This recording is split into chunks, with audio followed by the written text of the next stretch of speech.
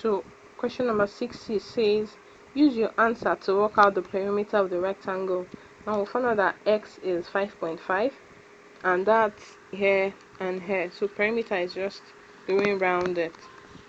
And here if you're substituting 5.5 in this other equation to get the value of this length you have 2 into 5.5 plus 12 2 times this is 11 so 11 plus 12 is 23 so perimeter will be 23 plus 23 plus 5.5 plus 5.5 and to give you this plus this is 46 plus 11 so to give you 7 57 centimeters.